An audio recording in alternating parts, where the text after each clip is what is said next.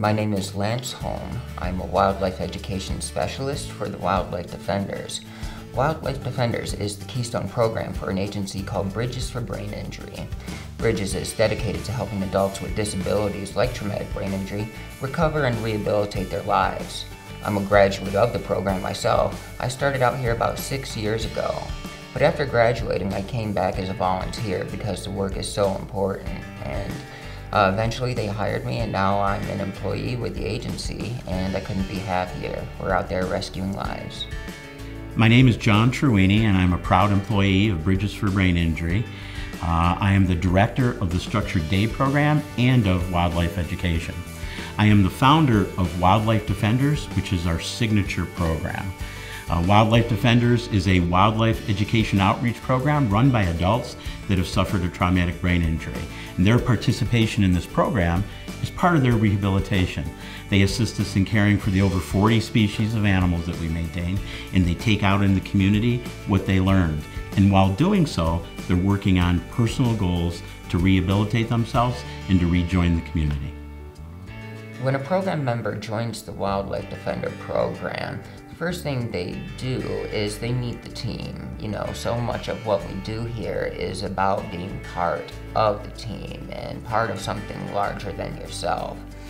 At that point, we introduce them to the many species of animals that we work with and there's wildlife education involved in our day program. You know, we learn about the different species, you know, what it takes to care for them, and uh, how to exercise and enrich them, and of course, how to safely handle and train them. But they are mammals, and like all mammals, they have hair, and you can see these fine hairs underneath their body. These, um, these hairs are very, very sensitive, uh, well, uh, sensory receptors. One of the things that draw people to us in fact, are the animals. Uh, people love animals. Not only do we have animals, but we have a beyond a zoo quality collection of animals. So it starts with a visit. Then if that individual wants to participate, uh, it's written into their plan by their service coordinator.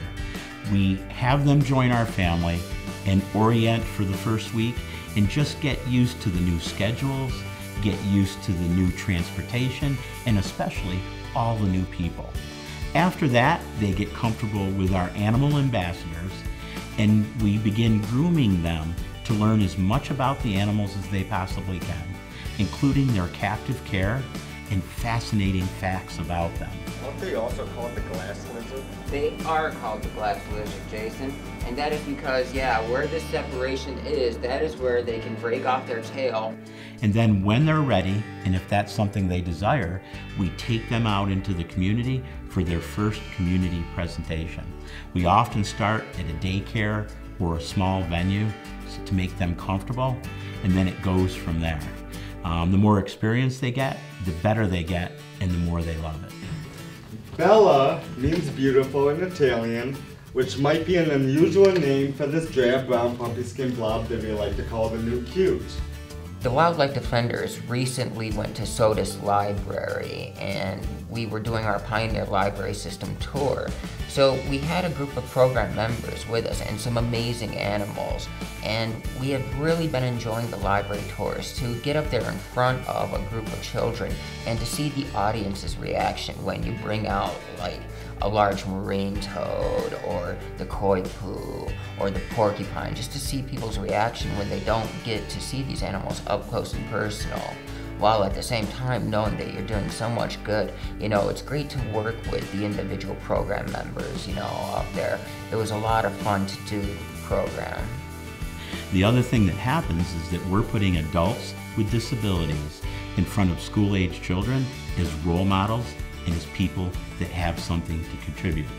Uh, the individuals in the greater Rochester area, we have children that grew up with the wildlife defenders. They don't see the disability.